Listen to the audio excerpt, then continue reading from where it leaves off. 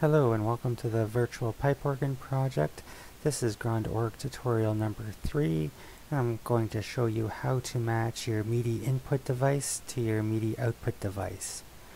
So first off, uh, click on File, go to Settings, and then go to MIDI Devices. Okay, your list will probably uh, be a bit different than mine, but that's okay. You set this up to how your console works. So what I want to do for my setup is link my input launch pads to my output launch pads. So we're going to make, so we got the corresponding ones ticked off, so we just need to now match them. So go to MIDI output device, click on that, and then you're going to see I'm saying no device. I can move this screen over so we can see that this is the one here that's highlighted, my MI 20 colon 1. So I'm just going to scroll down here and make sure that same one's selected and click on OK. And I'm going to do the same one to my 24 colon 1.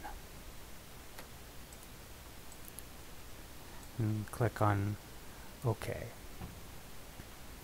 So now that I've done that, I will show you how this is of benefit when you're setting up your organ console. So I'm going to program my 16 foot bourdon into my left launch pad. So I'm going to right click on the, on the bourdon. I'm going to click on Detect Complex MIDI Setup. Now I'm going to select my uh, Novation pad that I want this connected to. I'm going to hit it again as it's asked me to do that. And there my receive has been set up. So like I said, my left launch pad, the event is 9x note on toggle. So what that means is when I uh, press the uh, associated pad uh, once, it will then turn on the stop and then it will leave it on until I hit that same pad again to turn it off. Pretty self-explanatory.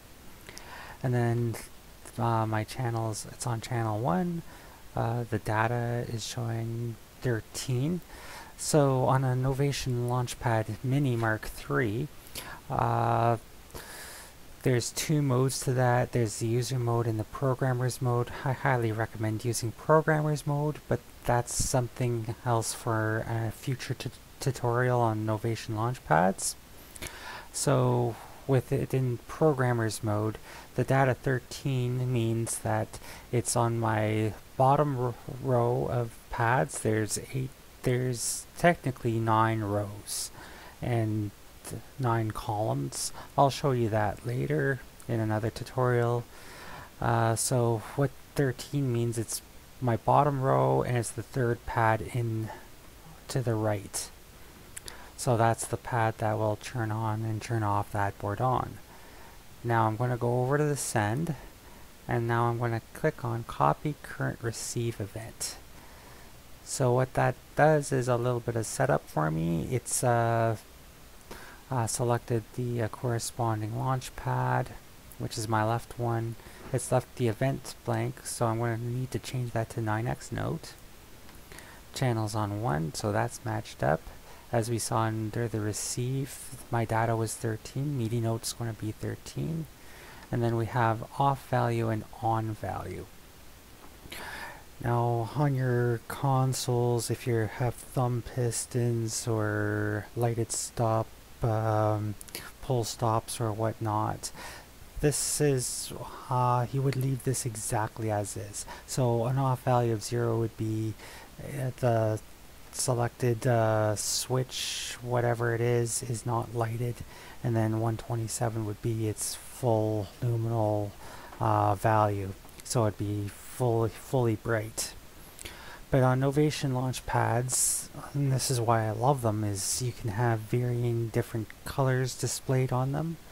So if I kept the off value at zero, the pad I selected would not be giving any sort of light. So I would have no visual context to know whether or not anything's programmed to it.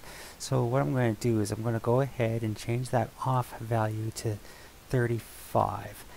because uh, I love to have different colors for each uh, family of stop. I've decided to go for a more turquoise color for my flute stops and the, of course all us organists know that a bourdon is a flute stop. So the 35 would be the uh, less intense version of the turquoise I've found in my experimentation and the 33 for my on value is going to be bright brighter so what this allows is to have uh, technically the same color but when the stop is turned off well it's going to be dim and then when I turn the stop on it's going to be more bright so I have a way of knowing if the stop is on or not and you can see I've just hit my corresponding pad for that bourdon. It's turned my bourdon on. I want to hit the pad again and it's turned it off. Another thing I'm going to show you quickly is this upper limit thing. Uh, that will automatically set when you do com detect complex MIDI setup. But let's say you decide that you were going to enter in all this stuff manually because let's say you had a, a spreadsheet or something. Uh, let's and you forget to set the upper limit to 1, it's going to be set at 0. So let me show you what happens when the upper limit's at 0. Yeah, the stop does not stay on. So that's pretty crucial. Make sure you have your upper limit set to 1. That way this note on toggle actually does take effect. Because if it's at 0, it will just act like a 9x note, so, it, so it'll think you're just playing on the keyboard. And there, you can see I've fixed that.